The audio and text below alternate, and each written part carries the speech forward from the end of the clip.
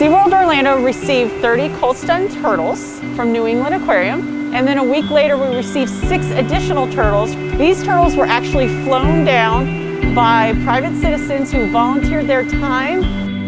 Cold stunning is when the water temperature gets too cold for the turtles. And so these animals were not able to swim well, for these animals is we are treating the ones that have pneumonia and we're treating those with antibiotics and just supportive care.